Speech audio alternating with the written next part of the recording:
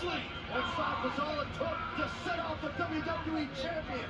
Right now, Lashley is hurt, but he is mauling Big E. Oh. Big E cashed in his Money in the Bank contract, but is now incurring the wrath of the almighty WWE Champion. And let's not forget who just wiped the floor with Randy Orton. The table is destroyed. Big E focusing on his, the knee of Bobby Lashley. Smart strategy. Big E. Bobby Allen, a big ending. And a good night. Thanks for might coming. finish it. He's on top. Oh!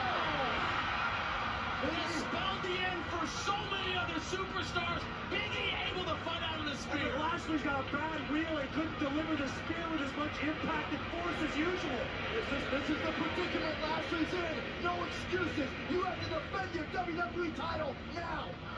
Look at Lashley muscling up his challenger.